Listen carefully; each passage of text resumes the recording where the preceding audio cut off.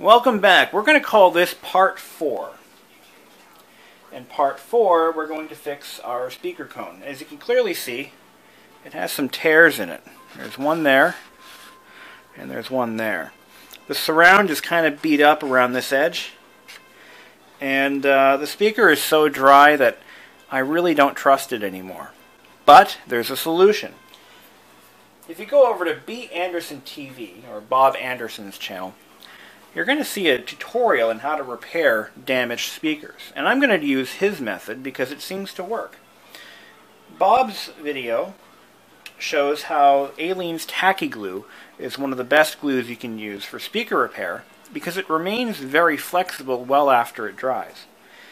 This is actually, I can, I can speak to this product um, because I used it back in kindergarten to make macaroni art. This is what my uh, teacher was using in the classroom. It's a great product, and uh, it's never changed. This is this, in fact, this bottle design has never changed. It looks exactly like it did when I was in kindergarten. I've actually used this before on speaker repair because I did a um, I did surround repair work on my Boston Acoustics uh, speakers that I had a couple years ago. And anyway, so we're going to put some of this in a bowl.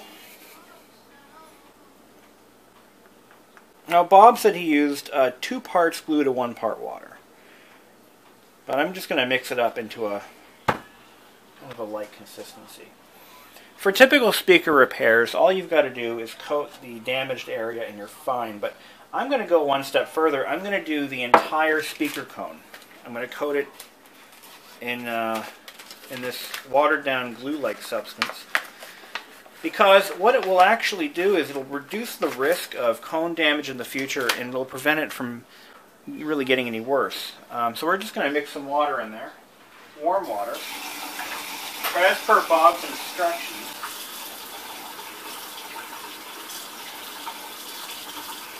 come on, there we go a little bit of water. That's a little too much water, but I think it'll be fine. We're just going to mix it up into a. Get that on film here. Get on the camera there. There we go. I'm um, not quite there. Let's move it over just a wee bit more. I'm going to just mix it up, get it nice and dissolved. We don't want it to be in paste form, we want it kind of a, a liquid. And the object is to get this stuff to soak into the cone slightly.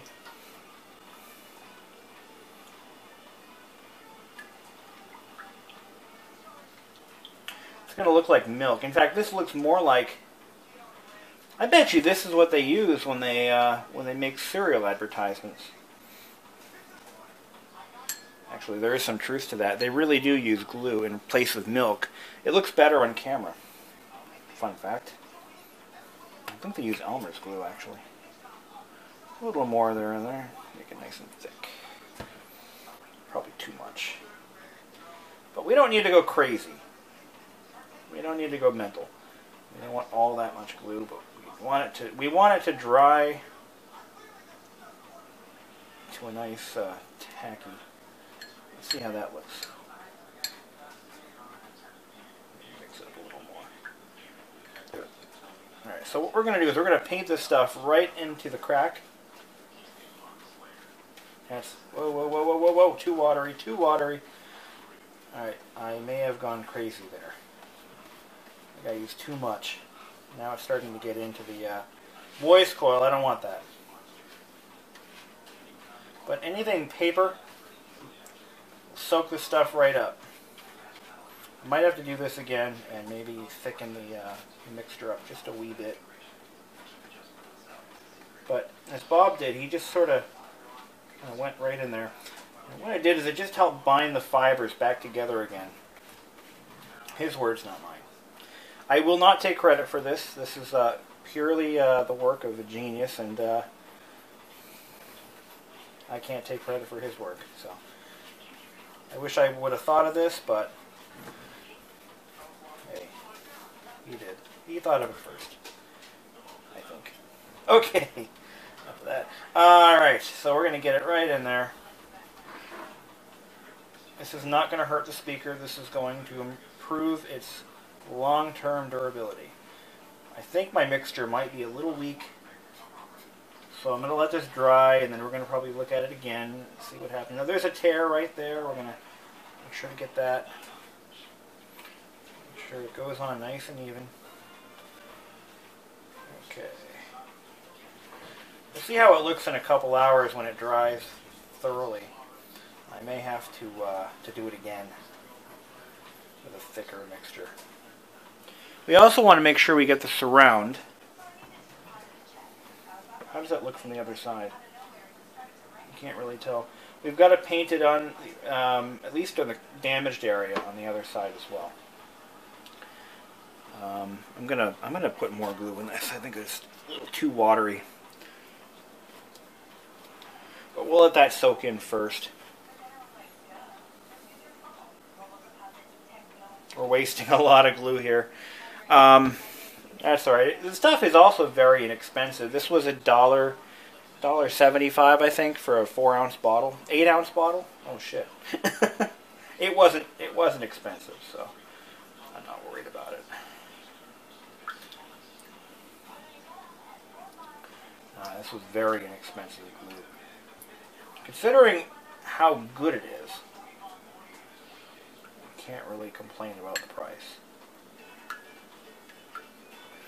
Oh look, Bob's Burgers is on. I love that show.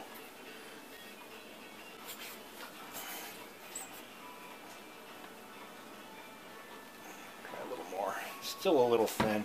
A little, little too watery for my taste.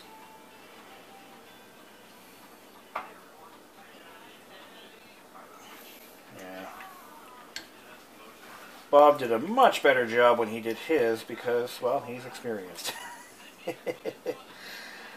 Alright, that's a little thicker. One of the what I was going to do before I saw his video is actually use um, enamel.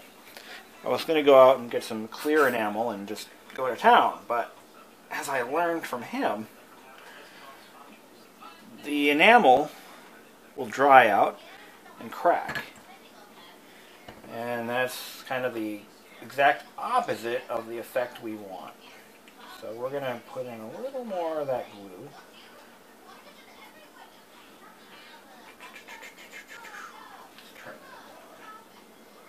Mute. There we go. But I wanted to make sure the speaker actually works before I try something like this because I don't want to waste my time. Sure enough, the speaker works. It roared to life as you saw in my, one of my earlier videos. There we go. Now we've got a nice thick, nice thick coating there. Just paint it right on. This will make a difference.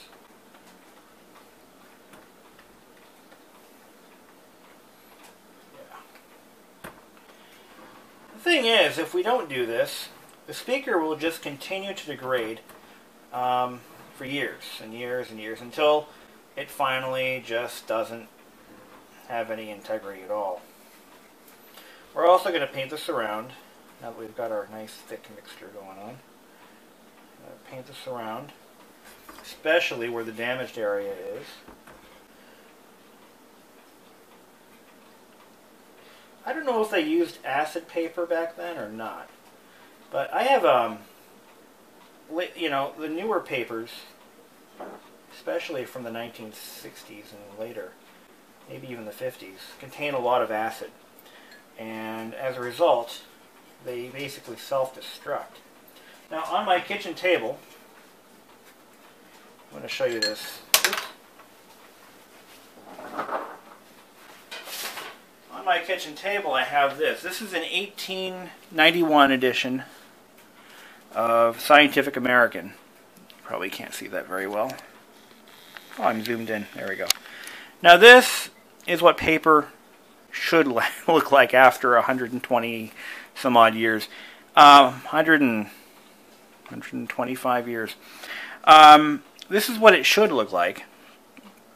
But unfortunately, paper made uh, in recent years contains acid, which helps the paper to basically decompose on its own. Alright.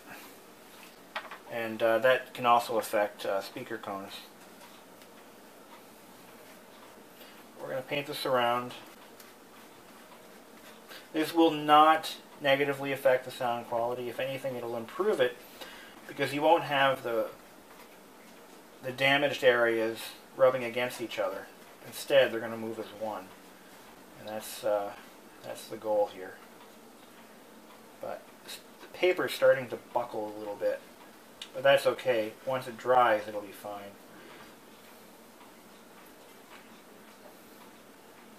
Uh, unless I can find a, a, source for a replacement speaker cone, this is just going to have to be the solution I, I, uh, I wind up with. So.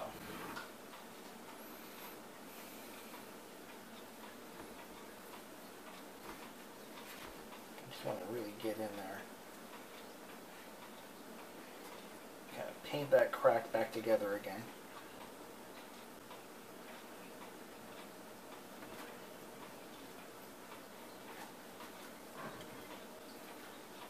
and the other defects that I found later on. And I think we've gone all the way around by now, so uh, we're going to just let this dry and uh, hope for the best. But yeah, you, can't really go to Walmart and buy a speaker like this because this contains a field coil, which is technology that hasn't been used in quite some time. Alright. Give that a few hours to dry and it should be good to go. Once it dries, I'm going to coat the other side um, of the cracked areas, but we're not going to worry about anything else. We're going to just let that, let that cure. Yeah, that's what we're going to do. Alrighty. Okay, Let's see what. And that's what it looks like when the tacky glue is dry, like it never happened. Um, I did uh, notice that the speaker had stiffened up quite a bit as a result of the, uh, the tacky glue, but you know, it was kind of a necessary evil. I mean, the speaker without it was prone to even more degradation, so I had to do something. I, you know, um, and I'm considering doing it to the other side as well at least uh, to this crack area. I want to make sure that this is, you can see it's, I mean, it's repaired. So, I'm going to put another coat of glue on the back side of that crack just to give it some more rigidity. Um, I noticed that the surround had loosened up in some areas. It was actually kind of uh, detached here, but once that glue solidified, it reattached itself. So, hurrah for that. The speaker cone still, or the surround still has flex to it. It's just not as much as it used to. I mean, I'm I'm I'm, I'm moving the cone right now, and so I hooked it up to the uh, to the set just to make sure that it was uh, you know good to go, and it sounds okay. Uh, a little, uh, a little tight, a little uh, high pitched, but it sounds all right. But you know, it's uh, I had to do something to preserve it. Um, but I'm going to do the other side as well. I figured I'd wait until that dried. And now I'm going to paint the other side of the cone as best I can to protect it. But I, I don't think it's necessary. I really don't. I really don't think it's necessary. So I'm probably not going to do that. Um, I don't want to stiffen it up anymore, you know what I mean? And you can see this is really where the repaired, the repairs were made. And uh, really that surround was in pretty rough shape. It, it doesn't... I, would like to replace the whole surround, I'll be honest with you. Um, I just... But the problem with that is I can't center the cone if I disconnect the surround, I have no way of centering the cone because right in the middle it has this uh, built-in centering disc. I guess centering it wouldn't be it wouldn't really matter at that point, would it? Because it would self-center. Just thought of that. But, uh, yeah. It's better than it was. But for my first ever speaker repair, well, of this nature, I guess I didn't do too bad. I am I am worried about that surround getting any worse or any tighter because we don't we certainly the job of the surround is to allow the cone to move in and out freely. And uh, uh, ideally if I could get a replacement that would be that would be the bee's knees. But I'm not so sure that would be effective uh, given the state of everything else. So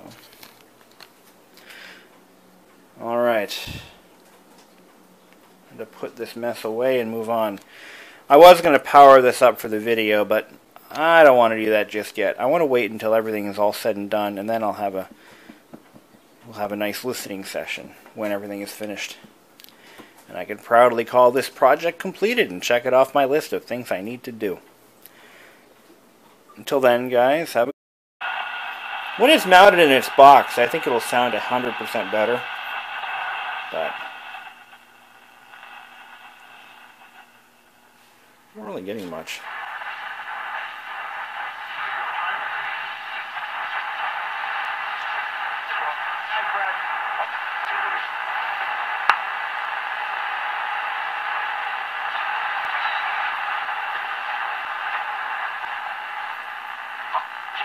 Your weekly design tips La-Z-Boy Furniture Galleries. Start a new design tradition. Get rid of that old coffee table and use a round That's ottoman not too with bad. nail head trim and wood-turned legs. With a look like this, tradition never goes out of style. Find more tips at styleforlifenow.com. Just into the WCBS newsroom. Suspect in the murder of police officer Randolph Holder has just been charged with murder one. That's Tyrone Howard, murder one, and robbery one. More from Vicky Allen in just a moment. Right now it's 7:58. Traffic and weather together on the 8th, and here's Steve Reggie. And we have that accident in Hempstead. It's westbound Southern State Parkway, an accident by exit 30. At least one lane is blocked there. In New Jersey, southbound Garden State Parkway, two lanes are blocked at Metro Park, exit 131.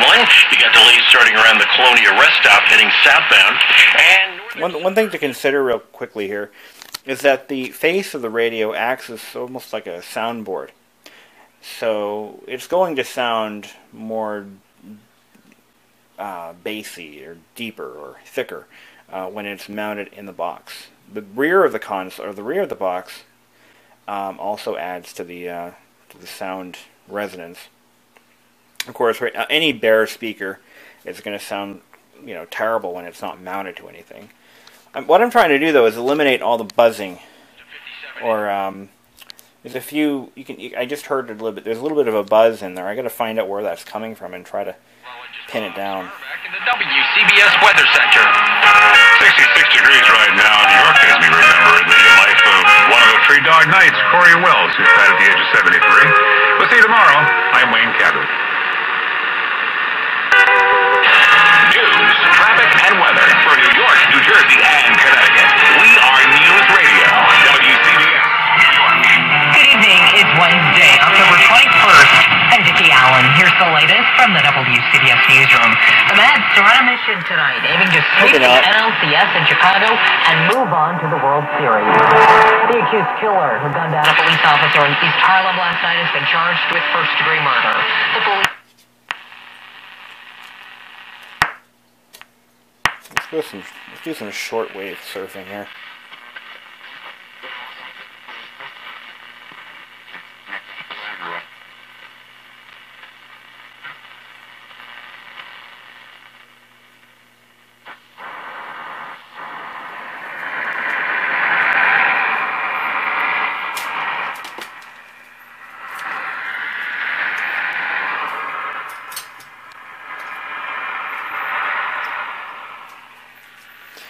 Allegedly, you can still hear some air traffic communications um, when they're out in international waters.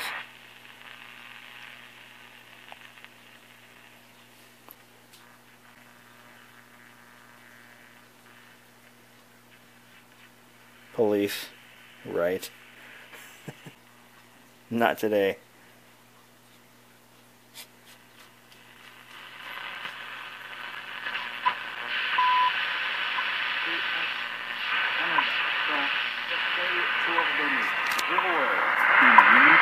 Zero hours, one minute.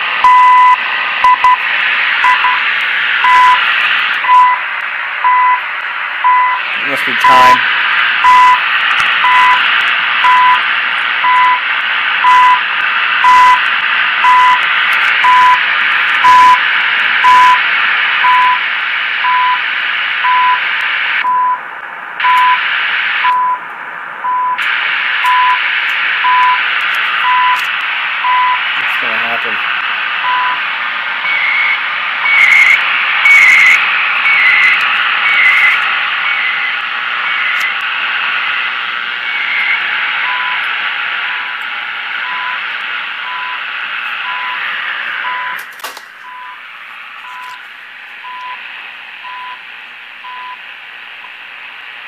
Coordinated Universal Crime.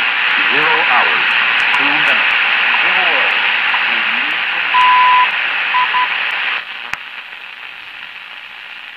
That was cool.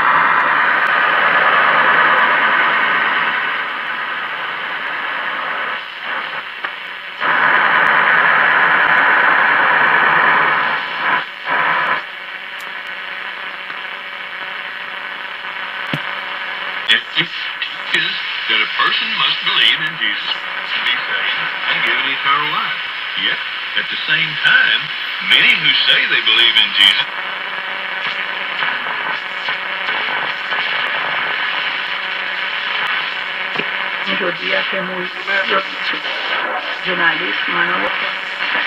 Un momento en esa línea. Que tratar de picharle bajito a cuadro. La jugada salvadora para los...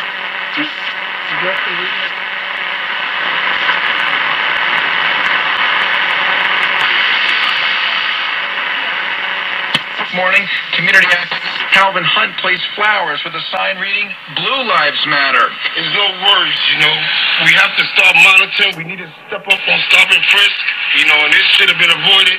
But uh, it's a sad day in New York City, man. Officer Randolph Holder responded to Esta partida de letras posee un valor de 5.000 millones de yuanes con una tasa de interés del 3,1% y vence en 2016, dijo el Banco Central de China un comunicado. with no resolution in sight. So your doctor's not going to lose sleep over that because Al, Melody, you'll be too busy adding up the average cost of your treatment. Office visits range from fifty to two hundred dollars. Then you're referred to specialists as uh, well, adding up All the right. fees, treatment. That's enough fun for now. Thanks for